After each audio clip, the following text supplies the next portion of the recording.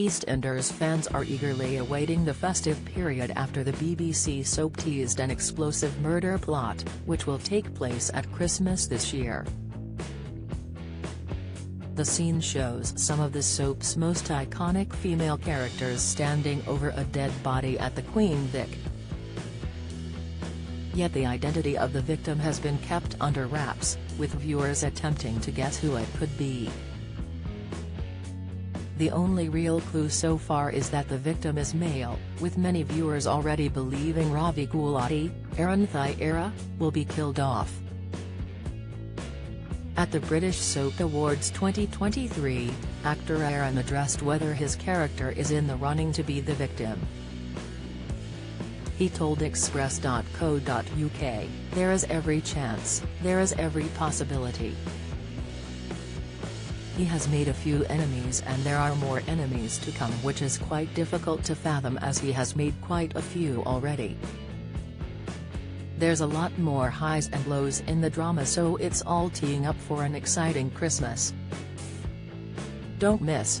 Corrie's Rob Mallard teases tragedy on the cobbles for Daisy and Daniel. Interview, Emmerdale star praises Paddy Kirk actor for dark portrayal in harrowing story, Insight, EastEnders relationship may be doomed as Sharon upsets Keanu with business move, spoilers, on whether there were any other characters who are keen to see Ravi killed off, he said, between the women, I think Ravi has got enemies with Suki, Denise, and Therese a few more, the star opened up about whether he would reunite with Denise Fox, Diane Parish, which could lead to Denise turning to violence.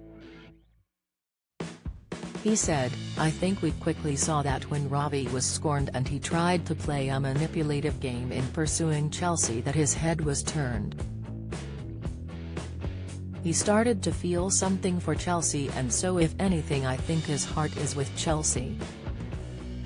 The actor was also asked whether Ravi had the potential to uncover Suki Panesar, Balvinder Sohal, and Eve Unwin's, Heather Peace, relationship.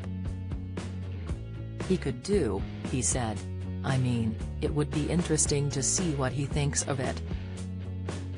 I don't know if he would care much, to be honest.